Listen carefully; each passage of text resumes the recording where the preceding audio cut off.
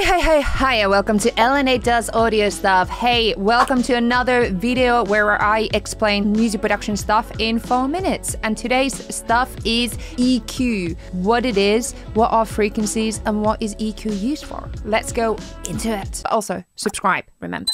okay, here we go. Four minutes, start now. Okay, so what is EQ? EQ is basically a tool that allows us to uh, analyze frequencies. It allows us to customize frequencies, cut them, add resonance into the, our frequencies, and it's the frequencies of the signal. I'm going to explain frequencies just in a minute, but also EQ has these different bands that allows us to cut or customize and all like mold our frequencies of the signal.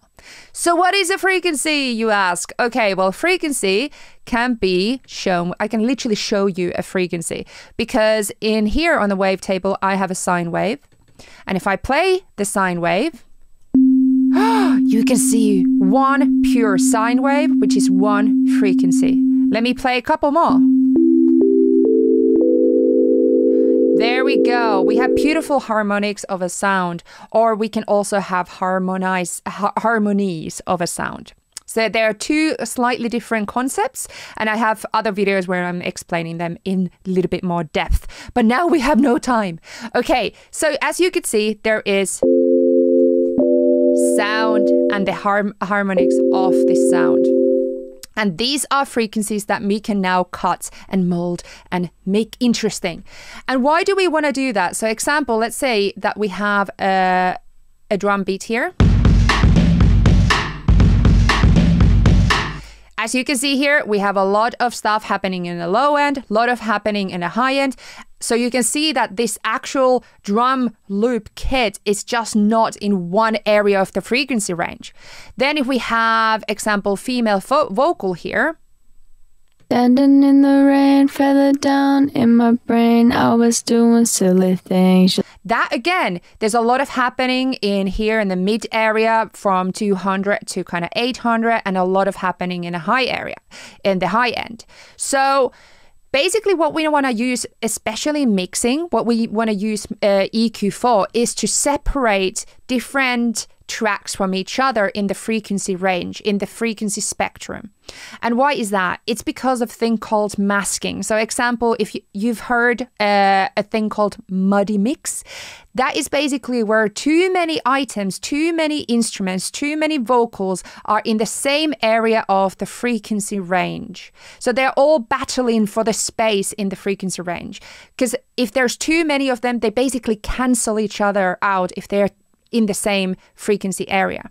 So, example in a vocal like this. Standing in the rain, feather down in my. You can see that there's still a lot of happening even in the low end, even though the most important part for the vocals happen here in the mid range and the high end. So basically, what that means is that we can remove some frequencies from this vocal to leave space for other things like the kick in the drums. So we can go here and add a little filter in the mid here, so a little notch there. And then we can go and add a high pass filter into the low end, which means that we can actually cut everything else from the low end. We only have the important bits here, and then we have the important bits in the high end.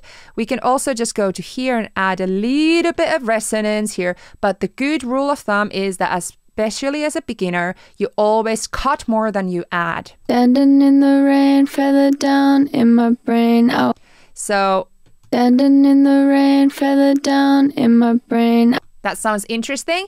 And then we have the drums. And in here, you know, we can leave space for the vocals. So, example, do we need area uh, frequencies in the mid area here where the vocals were? Standing in.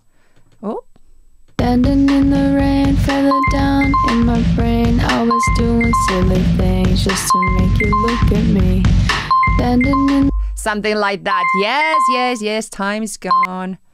Okay. So that's basically it. So you basically cut away from other frequencies, other uh, tracks to make room for other ones in the other tracks. I have a full mixing course explaining this in further, further detail. So the link to the free mixing course down below. It's on my channel as well.